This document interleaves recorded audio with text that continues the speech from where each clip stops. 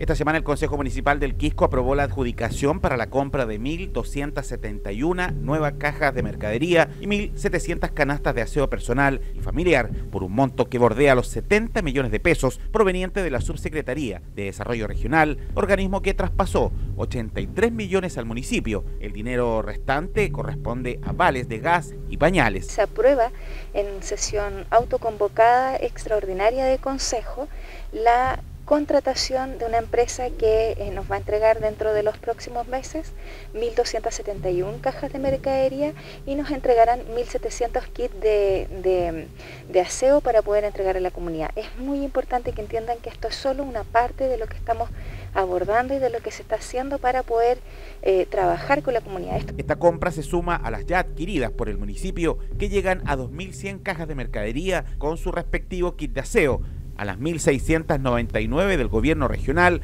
y a las 586 provenientes del gobierno central. Para nosotros es muy importante eh, fortalecer los equipos que están trabajando en terreno debido a que cada vez son más las personas que necesitan de, estas ayudas.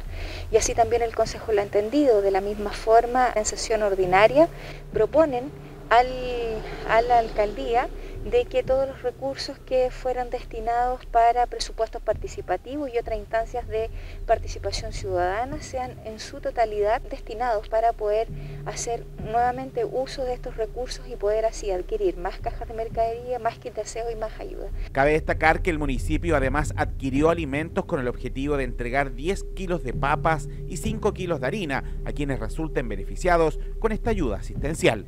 La alcaldesa del Quisco añadió que el municipio mantendrá de forma permanente la ayuda asistencial a las familias que se han visto profundamente afectadas tras la llegada de la pandemia del coronavirus.